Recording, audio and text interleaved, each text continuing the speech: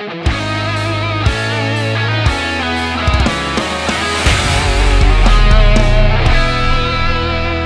turma! Um grande abraço. Todos vocês ligados no canal Atenção Vascaínos. Seguindo a nossa série de matérias especiais sobre o Vasco em 2019 e a perspectiva para 2020, está aqui ao meu lado um dos maiores jogadores da posição de lateral direito de todos os tempos no nosso clube e no futebol brasileiro. Luiz Carlos Vinck, jogador de seleção brasileira que brilhou no Internacional e que brilhou muito no Vasco. Campeão brasileiro em 89, campeão carioca, enfim, fez grandes jogos pelo Vasco, partidas inesquecíveis. E está aqui com a gente para bater um papo um pouquinho sobre esse Vasco, essa perspectiva para 2020, o Vasco com Abel Braga. Vink, primeiro um grande prazer, muito obrigado mais uma vez. Prazer tê-lo no Rio de Janeiro, é tão raro você do Sul.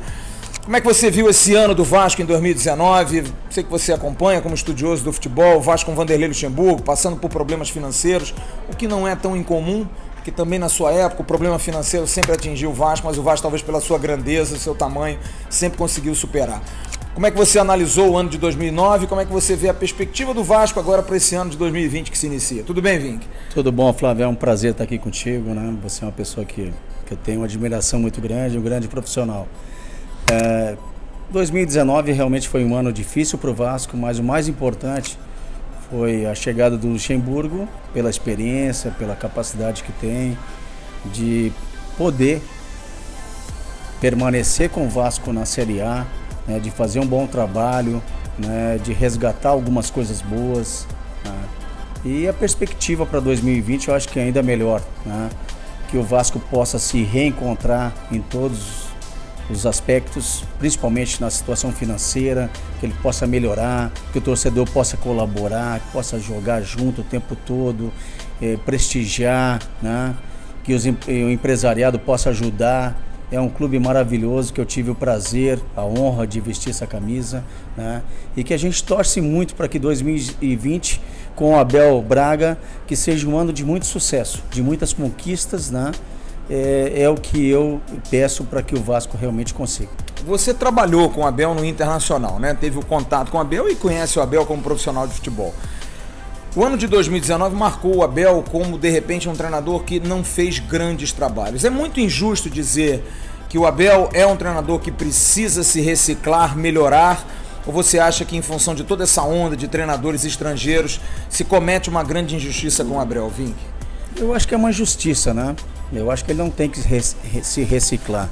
Eu acho que ele é um, um grande vencedor, passou por momentos adversos, como qualquer um pode passar, como outros passaram também, o próprio é, Luxemburgo, o próprio Filipão, tantos que a gente poderia citar aqui, né? mas que são grandes vencedores. Então eu não tenho dúvida do, da capacidade do Abel.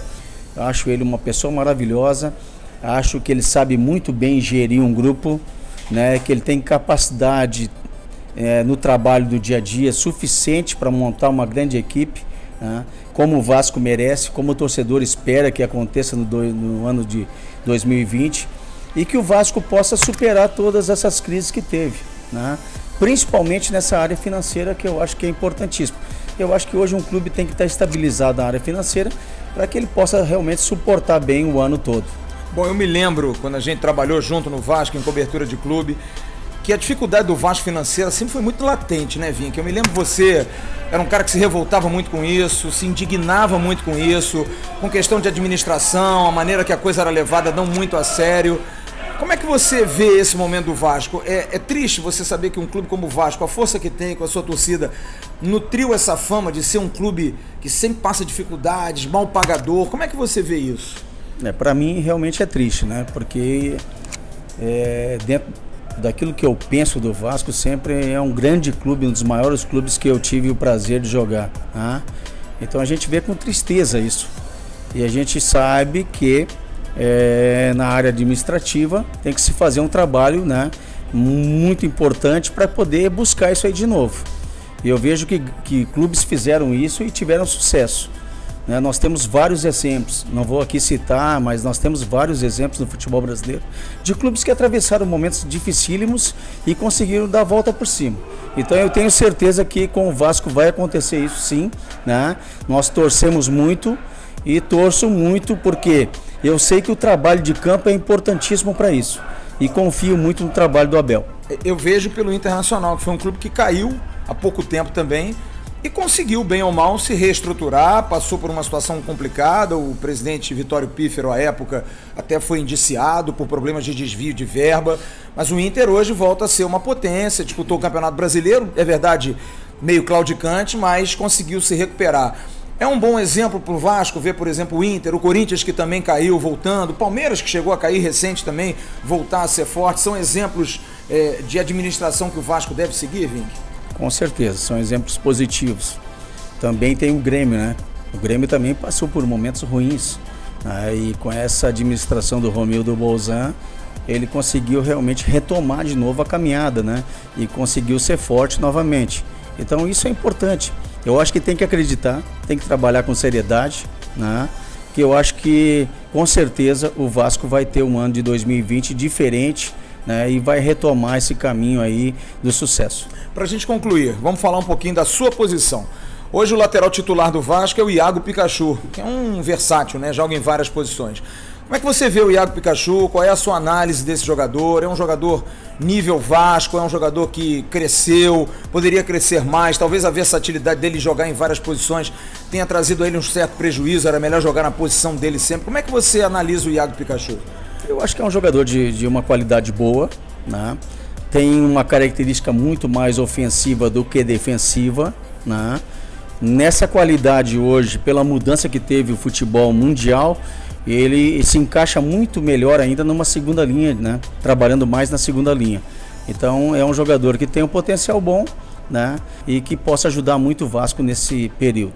Carlos, um grande abraço, muito obrigado, principalmente por você ter vindo ao Rio nos visitar na festa que fizemos no ano passado, uma festa fantástica dos 30 anos do bicampeonato. Você possa retornar, não suma, você é muito querido por todos nós e pelos vascaínos, viu? Obrigado, Flávio. Eu quero agradecer muito a você, ao Bismarck, né? Foi as pessoas que lutaram muito para que esse momento pudesse acontecer. Né? Eu acho importantíssimo isso, né? As pessoas têm que ser lembradas, né? Nós trabalhamos muito, nós tivemos aí um passado vitorioso dentro do Vasco. O torcedor tenho certeza que ele é muito grato a isso, né? E a gente tem uma alegria imensa de poder estar aqui e poder confraternizar com vários amigos, né? Que há tanto tempo a gente não tinha oportunidade de vê-los. Então a gente tem um, realmente uma felicidade, um orgulho muito grande né, de participar desses momentos importantes aí né, que vocês, é, você principalmente e o Bismarck puderam é, nos dar essa oportunidade no dia de hoje. Para quem não viu, visite no YouTube, vídeos. Luiz Carlos Vink foi um dos maiores laterais direitos da história do futebol brasileiro. Para nossa honra e glória, jogou no Vasco, vestiu a camisa 2 como poucos e falou aqui no canal Atenção Vascaínos. Curta esse vídeo, compartilhe, inscreva-se no canal, acione o sininho da notificação e continue curtindo o canal Atenção Vascaínos. Tchau, turma!